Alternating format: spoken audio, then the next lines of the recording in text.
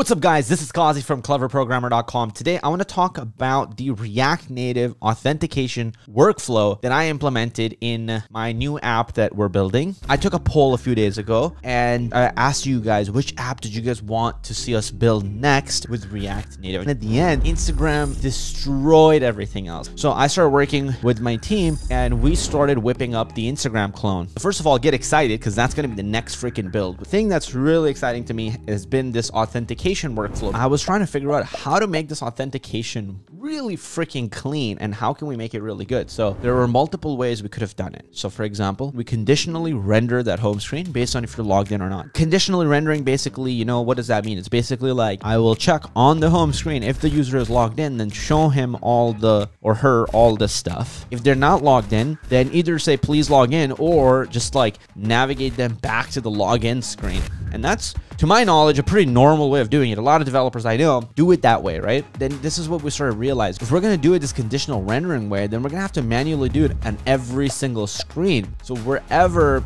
we wanted to essentially show stuff, we would need this conditional rendering. And we're like, man, this seems like it's not following the dry principle, right? Like don't repeat yourselves. Don't repeat yourselves. Don't repeat yourself. So I thought, how could we make this authentication workflow better? So I started scouring the internet and um, I wasn't able to really find super helpful helpful stuff. A lot of people were just doing conditional rendering on each of the screens, and then nobody was really showing how to wrap the entire app inside of authentication. And then I came across this amazing article, and he was talking about how you can implement the authentication workflow where essentially at the global level, where you put your root navigation in React Native, at that point, you want to wrap it, right? And you want to add a Firebase authentication listener to it at the global level. And then what he was doing is he was building a sign-in stack, and then he was building essentially a signed-out stack. And I was like, yo, this is genius. So we took that idea and we're like, that is such a clean way of doing it. Essentially, it's going to be so sick because if you're logged in, you will be given the sign-in stack at the global level, meaning that like your stack won't even contain the login and register screen. So it's impossible for you to have access to them. Just to describe to you what sign-in stack is, right? Sign-in stack has access to all the screens the users should have when they're signed in. The signed out stack has two screens the login screen and the register screen. So you create these two stacks. Because the other way of doing the conditional rendering, there's some security issues too, where some weird bugs can happen, right? But at this level, they won't even have access in their screen stack to these screens at all. And I thought this was such a genius way of doing it. Another benefit to this was I was running into this other problem, right? The older way of doing it, how we were doing it earlier. If you log in, the problem was that if you refresh your app, it would like start you back from the login screen, right? And so the other solutions would be, oh, Qazi, just use local storage. Oh yeah, React Native just has async storage. It just does this, just do that. It's not necessary. If you do it the right way, the right way is so freaking clean that none of this crap is necessary at all. Firebase has this really nice listener. You know, you basically do like firebase.auth and then you want to do dot on auth state changed. And this is a listener that Firebase gives you and it's detecting anytime the authentication changes,